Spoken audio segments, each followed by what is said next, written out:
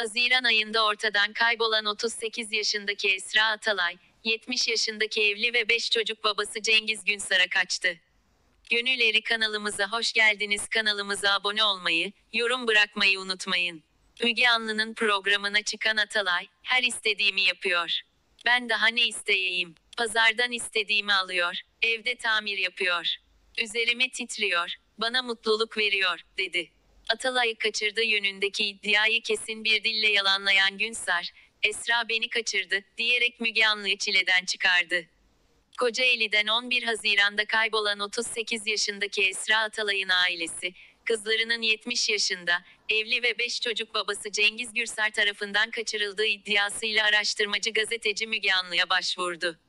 Müge Anlı'nın dakikalar içerisinde bulduğu Atalay, canlı yayına bağlanarak kendisini savundu. Belediyede temizlik görevlisi olarak çalışan Esra Atalay'ın 22 yıldır beyin tümörü tedavisi gördüğünü söyleyen aile, kızlarının 70 yaşındaki evli ve 5 çocuk babası Cengiz Gürsar tarafından kaçırıldığını iddia etti.